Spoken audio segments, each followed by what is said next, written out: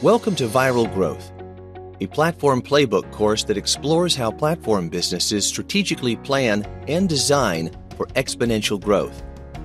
Many digital platforms, such as Facebook, WhatsApp, Uber, Instagram, Kickstarter, and YouTube, have grown rapidly over the last decade, often defying traditional marketing models. This course unpacks the factors that led to the successful growth of these platform business models.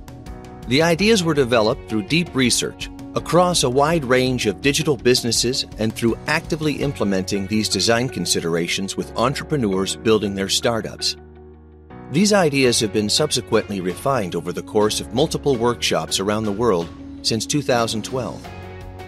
This viral growth course offers a toolkit, a set of design considerations, and in depth case studies, all aimed at helping product managers and marketers strategically plan out and execute towards similar nonlinear growth. This course aims to help you understand the factors that need to be considered while designing for, executing on, and optimizing for viral growth. Structured into 10 modules, we lay out four design elements and four optimization priorities that need to work together when you plan for viral growth. In the first module, we look at the factors that separate high growth digital businesses, which grow non linearly, from the ones that grow linearly. We identify virality as the common element across these businesses. In Module 2, we explore the common misconceptions people have about virality and why these misconceptions prevent them from executing it well. In Module 3, we start exploring virality in detail. First, by looking at the structure of disease spread and then applying it back to how digital businesses spread in a networked world.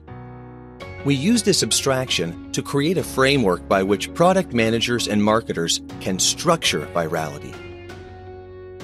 The next four modules unpack this framework in further detail as we study the design elements that constitute virality.